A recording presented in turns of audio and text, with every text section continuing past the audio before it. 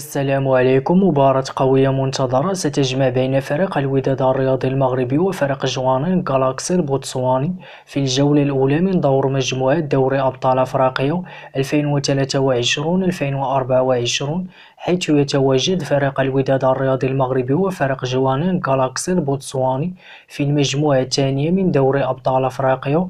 إلى جانب كل من فريق سيمبا التنزاني وفريق أسيك ميموزا الإيفواري وسيحتضن ملعب مراكش الكبير مباراة الوداد الرياضي وجوانين غالاكسي في الجولة الأولى من دور مجموعة دوري أبطال أفريقيا يوم السبت 25 نوفمبر 2023 في حدود الساعة الثامنة مساء بتوقيت المغرب العاشرة مساء بتوقيت مصر والسعودية إن شاء الله. ومن المنتظر يتم نقل هذه المواجهة على شبكة قنوات بي ان سبورتس.